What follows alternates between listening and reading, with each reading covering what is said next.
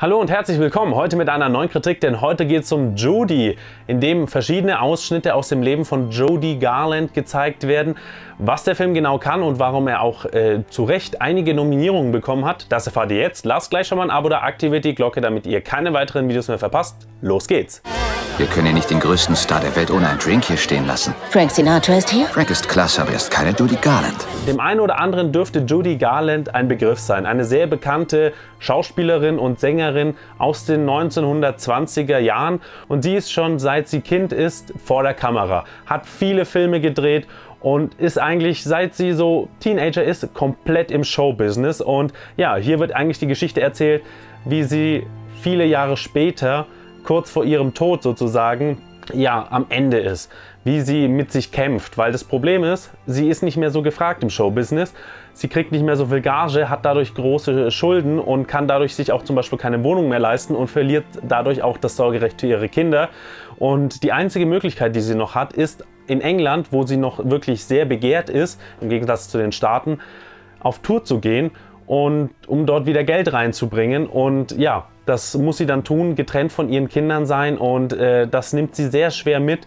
Und man muss sagen, es ist toll gespielt. Also die Geschichte ist mitreißend, herzerwärmend und hat sehr viele schöne, tolle Momente. Jeder, der ansatzweise was mit Judy Garland irgendwie am Hut hat oder sich dafür interessiert, kann sich das angucken. Es ist ein sehr toller Film geworden und man muss sagen, von der reinen Thematik her, ist es wirklich auch äh, unabhängig, ob das Judy Garland ist, sondern wirklich dramatisch, wenn du dir vorstellst, du bist seit du irgendwie 12, 13 bist vor der Kamera, äh, wirst vom Management sozusagen kontrolliert, du darfst nicht mal essen, was du möchtest, weil du musst dünn bleiben und äh, ja, das Ganze über 20, 30 Jahre hinweg hast hunderte Filme gedreht und am Ende willst du eigentlich nur mit deinen Kindern irgendwie eine schöne Zeit haben und das geht dann nicht, weil ja, äh, du kein Geld hast und sie dir weggenommen werden und die bei deinem Ex-Mann leben und so, das ist irgendwie schon echt hart, muss man sagen. Also dementsprechend von der reinen Thematik her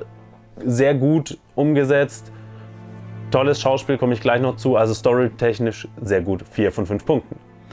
Schauspielerisch macht es Renée Selweger wirklich gut. Also nicht ohne Grund hat die einige Nominierungen bekommen.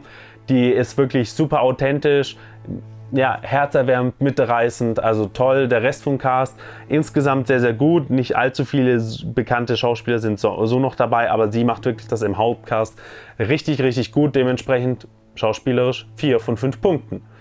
Technisch muss ich sagen, sieht der Film ganz schön aus. Er ist ein bisschen mehr Glamour an manchen Stellen, äh, versucht er zu verkaufen, als der Film eigentlich ist, weil es ist im Grunde ja wirklich ein Drama. Und so viel Glamour ist da an vielen Stellen nicht. Und man sieht diese Figur immer wieder zerbrechen und oder, äh, oder ja, am Boden. Dementsprechend so filmisch an sich ganz schön umgesetzt. Drei von fünf Punkten ist in Ordnung, reißt aber keine Bäume aus, trotzdem solide, sauber produziert.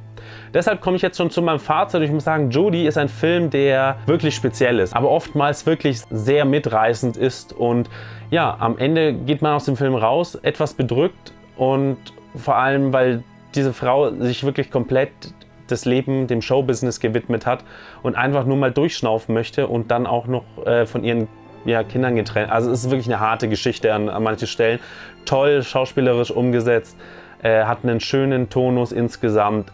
Also jeder, der sich ansatzweise dafür interessiert, kann sich den angucken. Ist ein guter, richtig guter Film geworden. Dementsprechend 4 von 5 Punkten. Empfehlung fürs Kino. Insgesamt 15 von 20 Punkten. Starker, guter Film geworden kann man sich angucken, vor allem wenn man, glaube ich, für die Oscars ein bisschen vorbereitet sein möchte. Dementsprechend war es das. Ich hoffe, es hat euch gefallen. Wenn ja, lasst gerne einen Daumen hoch da, schaut auf den Kanal vorbei, aktiviert die Glocke. In diesem Sinne, bis demnächst und immer schön weiter zocken. Ciao!